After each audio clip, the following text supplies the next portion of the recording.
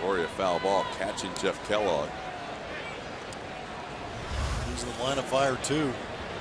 Ooh. Man, that squared him up. Wow. Kellogg's a veteran. He's going to hang in there, but the one thing you are concerned about as much as anything now is the concussion possibility.